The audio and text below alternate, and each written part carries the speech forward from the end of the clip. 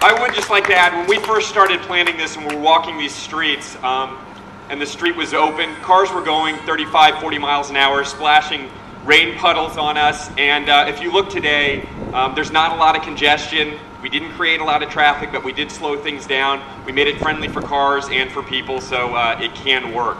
Um,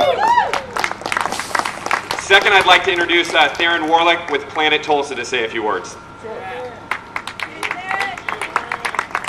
Thank you very much. My name is Theron Warlick, and I'm, I'm, uh, the, I'm one of the lead planners for Planitulsa, which is a citywide planning effort. We have our first new plan in 30 years. Uh, incidentally, I'm also the planner for this neighborhood, for the Pearl District, and have been for 11 years. And uh, one of the things I wanted to talk, and it's, it's been 11 great years, and we're, we're still rolling. We've still got great things in the future. Uh, what I really wanted to talk about um, was, though, about our entire city and about our city of neighborhoods throughout the city. Um, this neighborhood, the Pearl District, uh, if you didn't know that, it's named the Pearl District because this used to be called Pearl Street at one point. So, um, the Pearl District has been in decline since the 1960s, and for some of us, I think, for some, for some of us who are city lovers, the reasons for that aren't even worth going into. But it has been in dec- decline for a very long time, and what does that mean to the city? What does that mean to the city? Um, this city really depends on stability throughout. Every part of it needs to be stable and growing. To see a part of it in decline is actually not just not just bad for the residents around here, it's actually bad for the city's bottom line.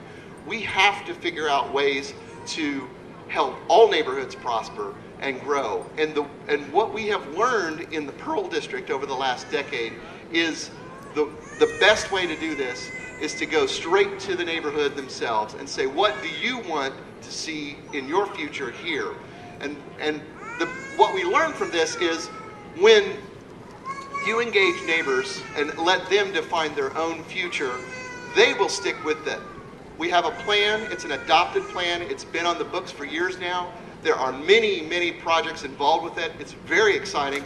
I'll be talking about all the gory details across the street here all day long, so I won't get into them now. But this plan is happening, and the reason it's happening, the reason that it's getting funded, the reason that things are happening is because of the Pearl District folks themselves. So, bottom line here is every neighborhood in Tulsa, even the struggling neighborhoods, can and should prosper. We believe the way to do that is we'll, we, the city can help partner with you in that effort. We need you to get together to have a bold and, and exciting vision for your future and then work with us to get some plans on the books and we'll take it from there. So thank you very much. And, and if, um, I guess who's next? And I want to introduce you to Jamie Jameson. He's one of the guys from the Pearl District. In fact, you can meet a bunch, a bunch of other folks from the Pearl District over here.